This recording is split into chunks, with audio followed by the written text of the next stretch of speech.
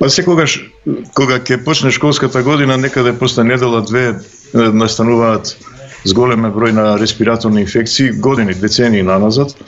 И сега тоа апсолутно не е различно. Овој пат најверојатно е доминантна респираторна болест ковидот.